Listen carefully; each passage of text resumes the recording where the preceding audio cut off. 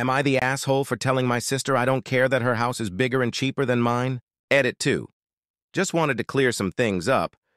I got such a good deal because a friend of my aunt had to go into assisted living. She wanted to sell it ASAP, I was able to pay in cash, and she gave me a good deal because she knew I was looking and that I'd take great care of it. I'm also in a shady according to tech bros who never leave the north side area. Also, somebody mentioned that I shouldn't look down on my hometown. I will, and I'm not sorry for it. I faced a lot of discrimination, and I had to leave because a group of people made it their mission to harass me because they didn't like the way I was born. Edit.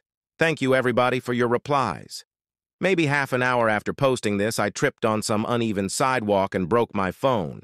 I had to get it replaced, thank goodness, for iCloud, and the cashier just gave me really bad anxiety.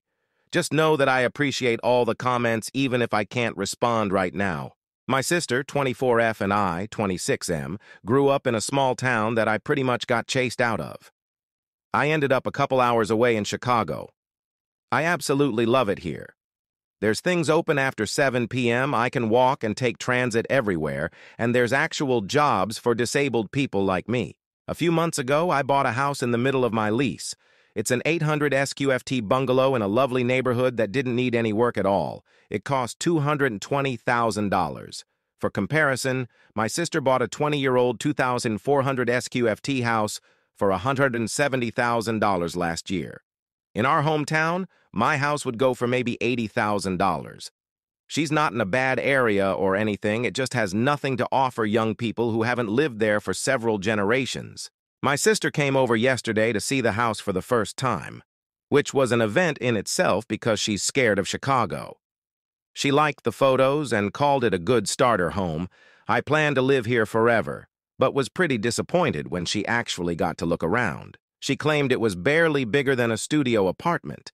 She asked how much I paid, I told her, and she said, um, I literally paid $50,000 less for something much newer, prettier, and three times the size. I went, okay? Congrats, but I don't care. I'd rather buy somewhere I actually want to live, even if it costs more. She accused me of being condescending and said that I shouldn't act like I'm too good for our hometown. I told her I wanted to move past this and offered to walk with her to the KFC a couple blocks away. She said she'd rather go home and that I should reimburse her for gas since she drove all the way out, two hours, to see me only for her to have to leave after half an hour because of my attitude. I told her I wouldn't be doing that, and that she chose to leave, and she went, You've turned into a complete jerk ever since you moved here. I told her to leave, and she left. I'm not sure who's TA here because we aren't the type to involve family in our arguments. But she's telling her friends who are apparently saying I'm a jerk who just wanted to humiliate a woman.